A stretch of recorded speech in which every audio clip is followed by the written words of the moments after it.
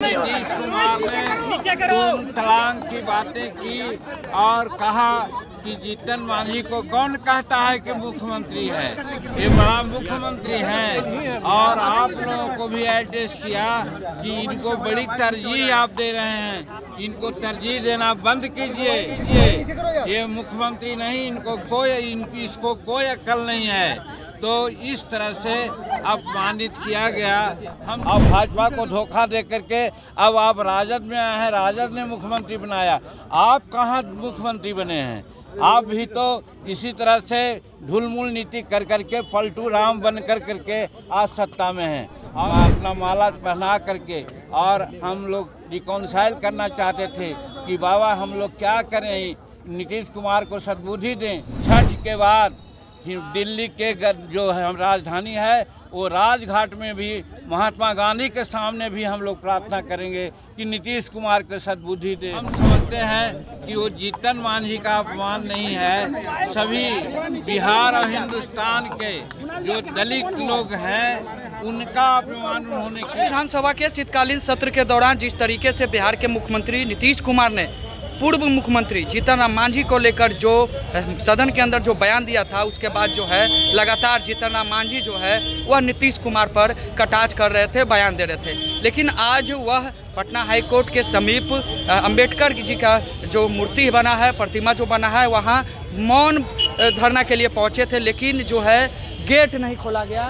तो जितने भी यहाँ पर पहुँचे थे लोग, बिहार बीजेपी के प्रदेश अध्यक्ष सम्राट चौधरी, बिहार विधानसभा के जो नेता विरोधी दल है, विजय सिन्हा तो तमाम जो लोग पहुँचे थे, वहाँ मौन व्रत था, लेकिन मौन धरना था, लेकिन उन्हें गेट नहीं खोला गया। लास्ट में वह गेट पर ही जो है, वह माला जो है, वह डाल दिया गया। लेकिन सबसे बड़ा सवाल है कि जिस तरीके से बिहार के जो पूर्व मुख्यमंत्री है, जीतन राम मांझी, उन्होंने कहा है कि हम लोग जो है दिल्ली जाएँगे। दिल्ली के जो राजघाट है, राजघाट के समीप महात्मा गांधी का जो प्रतिमा है, वहाँ भी हम लोग मौन धरना पर बैठेंगे और बिहार के मुख्यमंत्री नीतीश कुमार को सद्बुद्धि हो सद्बुद्धि हो, उसको लेकर भी हम लोग जो है, ये कामना करेंगे।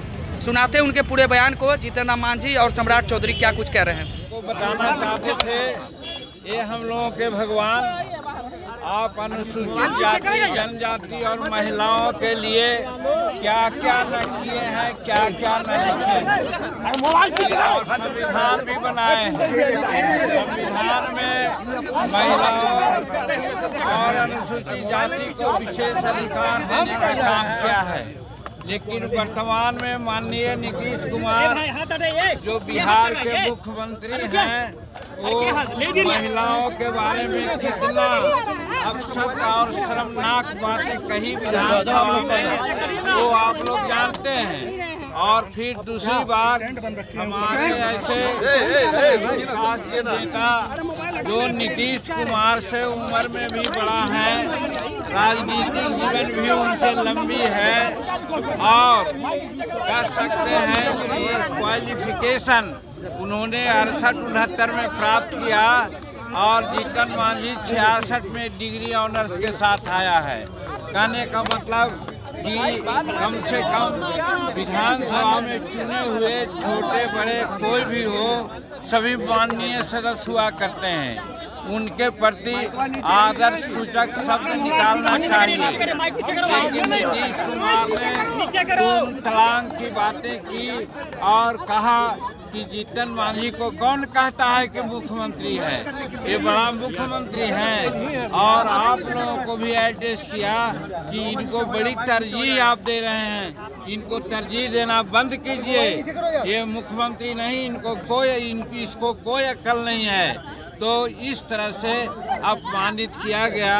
हम समझते हैं कि वो जीतन मांझी का अपमान नहीं है। सभी बिहार और हिंदुस्तान के जो दलित लोग हैं, उनका अपमान उन्होंने किया। एक राज्य का मुख्यमंत्री जो तेरह करोड़ जनता का प्रतिनिधित्व करते हैं और उनके मुखार बिंद से ये सारी बातें जो आई वो निश्चित रूप में विचारणीय है। और जीतन मांझी क्या बोल रहा था? और लोग कहते हैं, हमारे और भाजपा के बड़े नेता बोलेंगे कि जो आरक्षण संबंधी बिल लाया और कोटा बढ़ाने की बिल लाया एडमिशन में भी हम लोग सब एक मत से उसको पारित किया, समर्थन दिया। तो फिर उसमें विरोध की कौन बातें आती है? सिर्फ़ हमने ये कहा कि बाबा भीमराव अंबेडकर जब संविधान लागू करने की बात हुई और आरक्षण देने की बात हुई तो उन्होंने कहा था कि 10 वर्षों में समीक्षा होनी चाहिए। हुजूर आप 18 वर्ष व्यतीत कर दिए।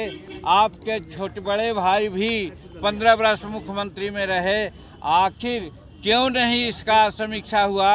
और हम बताते हैं कि 16 प्रतिशत कोटा हमको होना चाहिए था। अगर आज जाँच किया जाएगा तो वो सात या आठ प्रतिशत से ज़्यादा नहीं है। दूसरी बात हमने बोला कि यहाँ के जो पदाधिकारी हमारे शेड्यूल कास्ट के हैं, उनके लिए उन्नीस सौ इकहत्तर में ही रोस्टर लागू है। और रोस्टर लागू होने के उपरांत 16 प्रतिशत प्रमोशन में आरक्षण मिलना चाहिए। लेकिन आज हमारे शेड्यूल कास्ट और शेड्यूल ट्राइब्स के पदाधिकारियों की गिनती अगर की जाए तो तीन पॉइंट सात प्रतिशत उनका प्रतिनिधित्व है। एक एक शताब्दी में पूरा होगा माननीय मुख्यमंत्री जी। हमको ये बताइए और इसकी समीक्षा कीजिए इसके लिए आयोग बनाइए और कोई कार्यक्रम अपनाइए। इतने ही कहने पर वो भड़क गए कि इसको कुछ आता है इसको हमने मुख्यमंत्री बनाया। हम कहते हैं कि आपको भाजपा ने मुख्यमंत्री बनाया। अब भाजपा को धोखा दे करके अब आप राजद में आए हैं, राजद ने मुख्यमंत्री बनाया।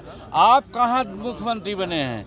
आप भी तो इसी तरह से ढुलमुल नीति कर करके, पलटू राम बन कर करके आज सत्ता में हैं। और जीतन मांझी को आप अपना स्वभाव से नहीं बनाया था। आप समझा था कि जीतन मांझी अनुसूचित जाति में भूया मुसहर का लोग है। और भूया मुसहर लोग बहुत सीधा होता है। हम इसको बना देंगे तो जो कहेंगे वो करेगा। क्योंकि 2014 में चुनाव जब हार गए तो सब जगह से थू होने लगा कि आप इस्तीफा दो इस्तीफा दो। तो इस्तीफा ना दे करके एक ऐसे मुलायम आदमी को बनाने का कोशिश किया कि जो वो कहें वो करें। और दो महीना तक सचमुच में हमने किया। बाद में आप ही लोगों ने कहा कि जीतन मांझी रबर स्टैंप है, जीतन मांझी रिमोट से चलता है तो फिर हम अपना काम शुरू किया तो उनका पेट में दर्द होने लगा। बहुत सारी बातें किया है, वो आपके सामने है। और आज बाबा भीमराव अंबेडकर के चरणों में अपना माला पहना करके और हम लोग रिकॉन्साइल करना चाहते थे कि बाबा हम लोग क्या करें, नीतीश कुमार को सद्बुद्धि दें। और आज ताला नहीं खोला गया। विधानसभा में भी बोलने का मौका नहीं दिया और आज यहाँ पर बाबा का मूर्ति पर मालार्पण करने से भी रोका गया। इतना जघन अपराध हम समझते हैं कि बिहार के दलित, पिछड़ा वर्ग के लोग, महिला लोग नहीं बर्दाश्त करेंगे। और ऐसा ये न किए हैं तो हम लोग छठ के बाद दिल्ली के जो हम राजधानी है, वो राजघाट में भी, महात्मा गांधी के सामने भी हम लोग प्रार्थना करेंगे कि नीतीश कुमार के सद्बुद्धि दे। और लोगों से कहेंगे कि ऐसे आदमी जो दिमागिया पल मैंने एक तरह से दिवालियापन हो गया है उनका दिमाग का, ऐसे लोगों को मुख्यमंत्री के पद पर रहने का कोई हक नहीं। इसके लिए भी ज़रूरत पड़ी तो कानूनी कार्रवाई भी हम लोग करने को सोचा है। हमें यही कहना है। ये लो मुँह मीठा करो। आज मैंने अपना जॉब छोड़ दिया। अब हम पूर्णिया वापस जाएँगे। जॉब छोड़ दिया है? मतलब? ये घर कैसे चलेगा? हम करेंगे क्या? और माँ बाबू जी क्या बोलेंगे? इसलिए मैं एक और मिठाई का डब्बा लाया। अपने बिज़नेस के लिए लोन अप्रूव हो गया अरे लोन अप्रूव हो गया वो तो ठीक है लेकिन पूर्णिया में हम रहेंगे कहाँ? अपना घर भी तो नहीं है वहाँ। इसलिए तो एक और मिठाई का डब्बा अलग से लाया हूँ। हमने पूर्णिया में घर ले लिया है। पूर्णिया के ई होम्स पैनोरमा में। पूर्णिया में पैनोरमा ग्रुप लेकर आए हैं। ई होम्स पैनोरमा बड़ा घर आलीशान ज़िंदगी और अत्याधुनिक सुविधाओं के संग। अरे अरे अब क्यों मुँह मीठा करवा रही हो? क्योंकि हम घर वापसी जो कर रहे हैं। घर वापसी की खुशी। पूर्णिया में ई होम्स पैनोरमा के संग। E Homes Panorama luxurious lifestyle redefined